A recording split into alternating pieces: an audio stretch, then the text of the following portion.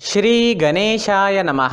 नमस्कार दोस्तों, ये राशिफल चंद्र राशि पर आधारित है। चंद्रमा मन का कारक है। हमारे मन पर जो भी उतार चढ़ाव आते हैं, वो चंद्रमा की स्थिति लेकर आती है। इस वजह से चंद्रमा की पोजीशन हमारे रोज के जीवन को बहुत ज़्यादा प्रभावित करती है और इसके अकॉर्डिंग हमारा दिन अच्छा या बुरा जाता है। तो आइए जानते हैं इस दिन चंद्रमा आपके लिए किस तरह के परिणाम लेकर आ रहा है। दोस्तों, ये दिन आपको मिले जुले फल प्रतिपादित करेगा। ये दिन बुरा तो बिल्कुल भी नहीं रहेगा, लेकिन बहुत ज़्यादा अच्छा भी नहीं कहा जा सकता।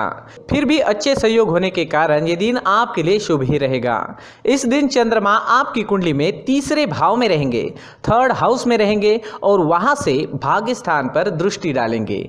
तो दिन काफ़ी अच्छा और भाग्यशाली साबित हो सकता है।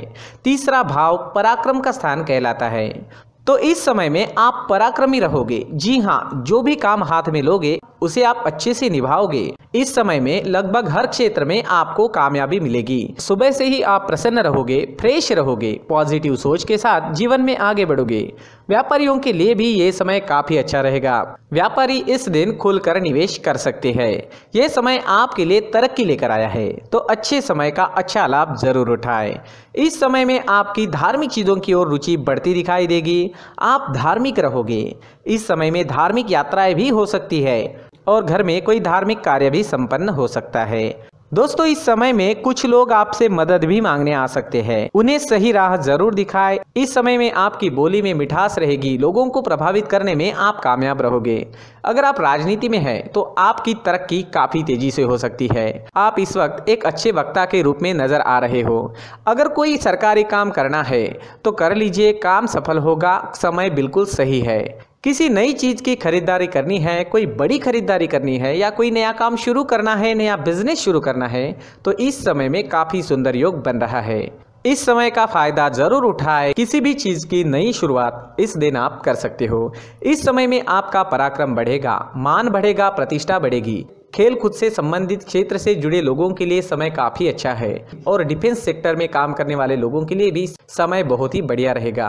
प्रमोशन या नया जॉब पाने के लिए भी समय आपके लिए अनुकूल रहेगा। अगर इस तरह का कोई काम आपको करना है तो प्रयास ज़रूर करें, आप सफल हो सकते हैं। इस समय में यात्रा के भी अच्छे योग बन रहे हैं। अपने बिज़नेस या जॉब से संबंधित यात्रा भी इस समय में आपको करनी पड़ सकती है। यात्राएँ शुभ रहेगी, सफल रहेगी। विदेश यात्रा के योग भी इस समय में बन रहे हैं। विदेश से धन कमाने के मौके भी मिल सकते हैं। इस दिन आर्थिक स्थिति मज़बूत रहेगी और आप शांत व आनंदी जीवन का अनुभव करेंगे।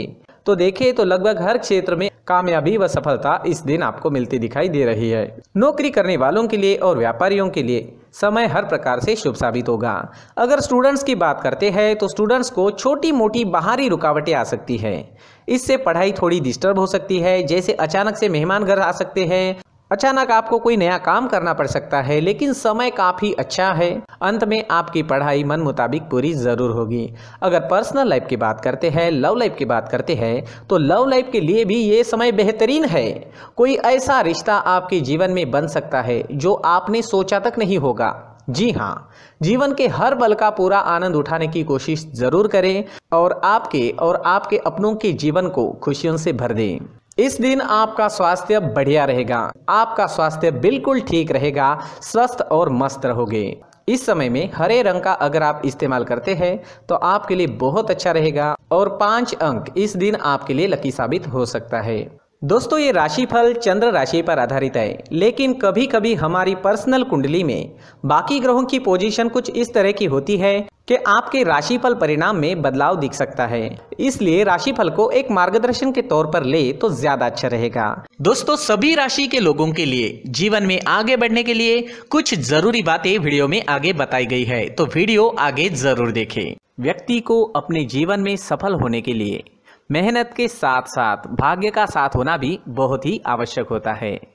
अगर व्यक्ति का भाग्य उसका साथ देता है तो कम मेहनत में ही अधिक सफलता प्राप्त होती है।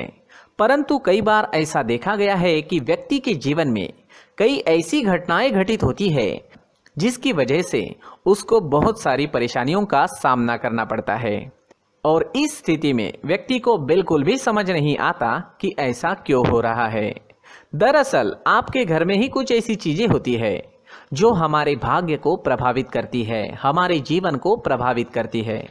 और उन चीज़ों के आसपास होते हुए भी हमें वो चीज़ें नज़र नहीं आती, वह चीज़ें हमारे चारों तरफ़ एक अजीब सा घेरा बनाकर रखती है, परंतु हम उसको नहीं देख पाते। इन चीज़ों से हमारे घर में और हमारे जीवन में नकारात्मकता फैलती है। जिसकी वजह से हमें भारी नुकसान उठाना पड़ता है, हम पूरी तरह से कंगाल हो सकते हैं। दोस्तों, काफ़ी लोगों को इस तरह की आदत होती है। कहीं से भी बाहर से आते हैं, कहीं भी जूते चप्पल फेंक देते हैं, कहीं पर भी उतार देते हैं। कुछ कुछ लोग तो घर के एंट्री के मेन डोर के सामने ही जूते या चप्पल डायरेक्टली उतार देते हैं। दोस्तों, ध्यान रखें, जूते चप्पल हमेशा साफ़ सुथरे रखें और उनको उनकी जगह पर रखें। उनके लिए एक स्थान बनाएँ। उस स्थान पर रखें। अगर कोई व्यवस्था उनके लिए की है तो बहुत ही अच्छी बात है। वहाँ पर उन्हें रखें। साफ़ सुथरा रखें। जूते चप्पलों को उनकी जगह पर कुछ इस तरह से रखें कि वो देखने में भी अच्छी लगे।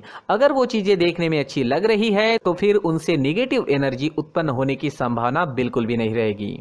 तो दोस्तों, इस बात का ध्यान ज़रूर रखें। साथ ही दोस्तों, एक और बात है जिस पर आपको ध्यान देना बहुत ज़रूरी होता है। हमारे घर के छत के ऊपर। जिन चीज़ों का हमें काम नहीं होता है, उन्हें हम घर के छत के ऊपर रख देते हैं। ऐसा करते करते देखेंगे तो घर के छत के ऊपर कबाड़ जमा दिखता है। जी हाँ जो चीज़ें हमें लगता है आगे जाके हमारे काम में आ सकती है, वो हम घर के ऊपर रख देते हैं। लेकिन वो चीज़ें तो काम में नहीं आती, हमारे जीवन पर वो चीज़ें बहुत ही गहरा निगेटिव इफ़ेक्ट डालती है, क्योंकि ये चीज़ें हमें कहीं ना कहीं हमारे जीवन में पीछे रखेगी। इस वजह से घर के छत को पूरी तरह से साफ़ रखें, पूरी तरह से साफ़ सुथरा रखें क्लीन रखें। साथ ही दोस्तों, हम हमेशा देखते हैं घर के ऊपर जाने के लिए जो सीढ़ियाँ है, उन सीढ़ियों के नीचे जो जगह होती है, वहाँ पर सामान हमेशा रख दिया जाता है। वो जगह ही ऐसी है कि सामान को खींची लेती है। वहाँ पर आपको कुछ ना कुछ सामान मिलेगा ही। अगर हम सीढ़ियों के नीचे सामान रखते हैं तो हमारी उन्नति होना बहुत ही मुश्किल है। जी हाँ सीढ़ियों के नीचे कूड़ा, कचरा, कबाड़ अगर हम जमा करके रखते हैं, कोई भी सामान रख देते हैं तो उस वजह से माँ लक्ष्मी हम पर प्रसन्न नहीं होती। माँ लक्ष्मी हमारे घर में आने की संभावना बहुत ज़्यादा कम हो जाती है। तो दोस्तों, इन चीज़ों पर ध्यान रखें। हमारे घर की जो सीढ़ियाँ होती है, उनके नीचे की जगह हमेशा साफ़ सुथरी रखें, क्लीन रखें। साथ ही दोस्तों, अगर आपके घर में ऐसी कोई चीज़ मौजूद है जिसका आपको काम नहीं है, जैसे टूटे फूटे बर्तन, आईना, तस्वीरें, इलेक्ट्रॉनिक सामान, सोफा, कुर्सी, टेबल, पलंग, घड़ी, झाड़ू, गमला इत्यादि तो आप इन सामानों को अपने घर से तुरंत ही बाहर निकाल दीजिए, वरना इससे आपको बहुत बड़ी परेशानी हो सकती है। आपको ये चीज़ें कंगाल बना सकती है। तो घर में ऐसी चीज़ों का मौजूद होना शुभ नहीं माना गया है। इससे धन की देवी माता लक्ष्मी जी का प्रवेश घर में नहीं होता है। इन चीज़ों से आपके घर में नकारात्मक ऊर्जा का संचार होता है और जिस वजह से व्यक्ति को मानसिक समस्याओं का सामना भी करना पड़ता है। व्यक्ति के मन में चिड़चिड़ाहट होती है और छोटी छोटी बातों पर गुस्सा आने लगता है। आप जो भी कार्य करते हैं, उसमें आपका मन नहीं लग पाता है। इस व्यक्ति का जीवन घर में मौजूद इन चीज़ों की वजह से अंधकार में डूबने लगता है। इसलिए आपको घर में बिना काम की चीज़ें कूड़ा कचरा नहीं रखना है। दोस्तों, एक और ख़ास बात है। हमारे घर में मकड़ी का अगर जाला है तो वो बिल्कुल भी शुभ नहीं है। जी हाँ वो अशुभ माना जाता है। घर में मकड़ी का जाला होना अशुभ है। इससे आपके अच्छे दिन भी बुरे दिनों में बदल सकते हैं। क्योंकि मकड़ी अपना जाल शिकार को फंसाने के लिए बनाती है। और अगर आपके घर में मकड़ी का जाला है तो इससे घर में नकारात्मक ऊर्जा का प्रभाव अधिक बनता है। और वास्तुशास्त्र के अनुसार इससे सकारात्मक ऊर्जा का नाश होना शुरू हो जाता है। दोस्तों, मुख्य द्वार भी हमेशा साफ़ सुथरा रखें। मुख्य द्वार को हमेशा सजाया जाता है, क्योंकि मुख्य द्वार से ही हमारे घर में लक्ष्मी का प्रवेश होता है। तो मुख्य द्वार को साफ़ सुथरा रखें और सजा कर रखें तो बहुत अच्छा रहेगा।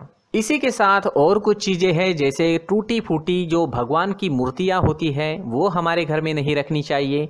साथ ही जो भगवान के पुराने फ़ोटो है, जो जमा करके रखे हुए होते हैं तो दोस्तों वो चीज़ें नहीं रखनी चाहिए। जो भगवान के फ़ोटो या भगवान की मूर्तियाँ जो घर के मंदिर में हैं, बस वहाँ तक सीमित है। अगर आपके घर के शोकेस में भी वो मूर्तियाँ रखी है, कुछ फ़ोटो रखे थे, उन्हें भी साफ़ करते रहना चाहिए। जिन चीज़ों को हम मेंटेन नहीं कर पाते, साफ़ नहीं रख पाते, उन चीज़ों को घर से हटा देना ही आपके लिए अच्छा रहेगा। साथ ही दोस्तों, कुछ तस्वीरें हैं। जैसे डूबते नाव की तस्वीर, या फिर झगड़े की तस्वीर, या फिर कुछ ऐसी तस्वीरें होती है जो देखते ही हमें समझ में आ जाता है कि ये तस्वीर निगेटिविटी दर्शा रही है। इस तरह की तस्वीर भी आपको आपके घर में नहीं रखनी है। जी हाँ इस तरह की तस्वीर लगाने से भी हमारे जीवन में उसी तरह की घटनाएँ घटित होना शुरू हो जाता है। हर एक चीज़ हमारे घर की हम पर प्रभाव डाल रही है तो इन चीज़ों को ध्यान में आपको रखना होगा। तो दोस्तों, कुछ ऐसे छोटे मोटे बदलाव करके हम हमारे जीवन में खुशियाँ ला सकते हैं, तरक्की ला सकते हैं, धन ला सकते हैं, माँ लक्ष्मी जी का प्रवेश हमारे घर में हो सकता है। तो इन चीज़ों को ज़रूर आजमाएँ। इस तरह के बदलाव आप आपके घर में ज़रूर करें। धन्यवाद।